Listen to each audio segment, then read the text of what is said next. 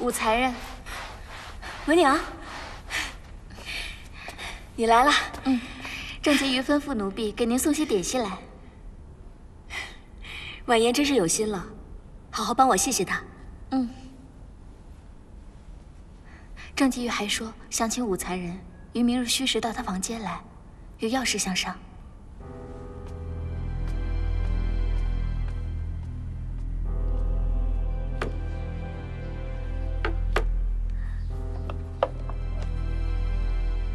此壶为鸳鸯镇壶，壶口分为鸳鸯两道，平素里酒从鸳道流出，和其他的酒壶无异。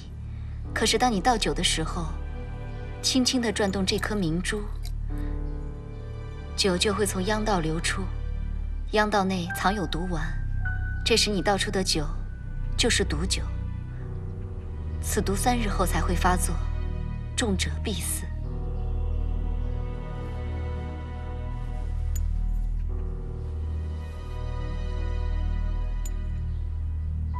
看来娘娘还是愿意让我一试。娘娘说了，她知道，如今婕妤在宫中的地位已是如履薄冰。既然郑大人把您托付给了娘娘，那娘娘和婕妤就是一荣俱荣，一损俱损。娘娘定当全力相助。只是不知道武如意那边，婕妤打算如何安置？放心吧。我已经安排好了，他晚些时候就会过来我房间。娘娘还说了，让你谨慎行事，此举为赌，赌赢了是会有大好前程，可是赌输了，便是万劫不复，甚至会牵扯到正阴两家。请司要禀告娘娘，我郑婉言做的事，定会一力承担，绝对不会连累娘娘。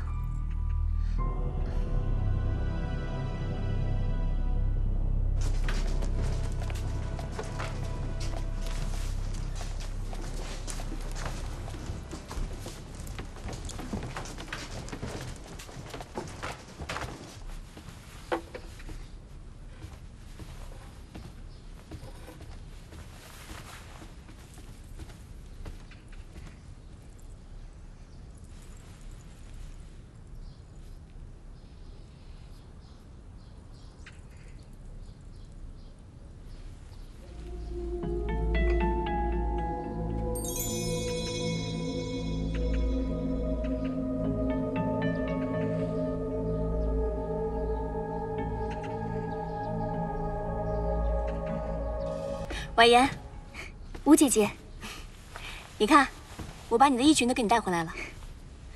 文娘，嗯，出去吧，把门关上。是。这是有劳吴姐姐了，快坐。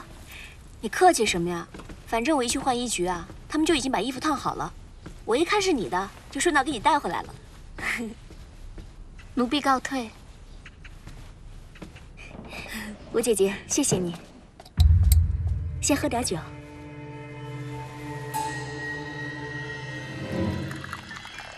说来也奇怪，反正啊，在这宫里，就是跟你还有徐姐姐那么一见如故。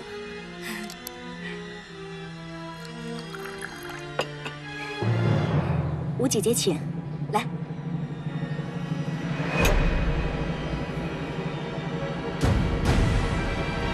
哎，婉言，你约我过来，想必是有很重要的事情要跟我商量，到底是什么事啊？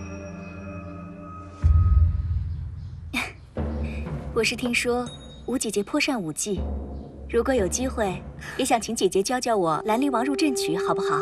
当然好啊。可是说到这个舞啊，却也是我的伤心事呢。姐姐也会有伤心事。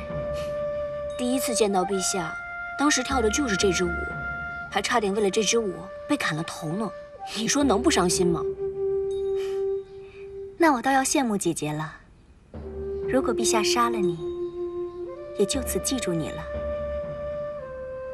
可是我现在，在他心里，早就是个死人了。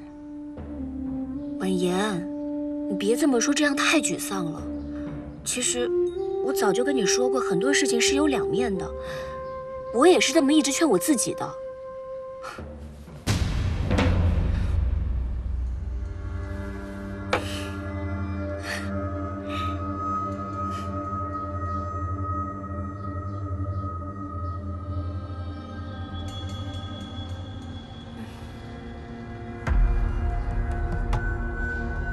婉言，你屋里有这么多镜子，怎么全都给遮起来了？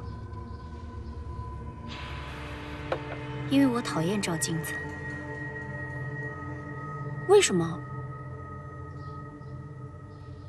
我从十岁开始便受训模仿长孙皇后，从那个时候起，我每日都要对着镜子，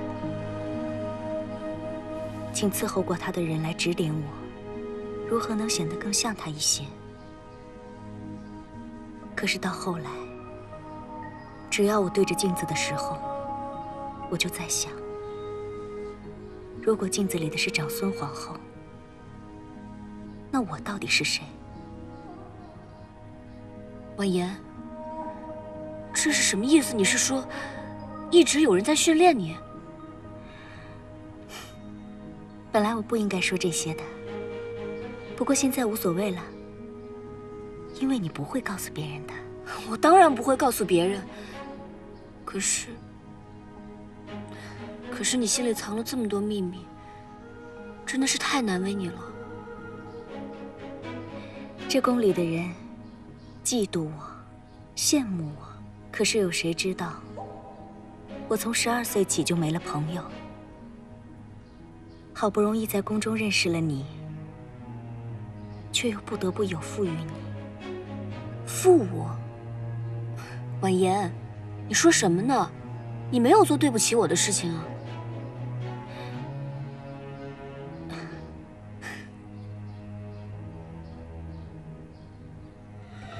婉言，你的脸，婉言，你流血了。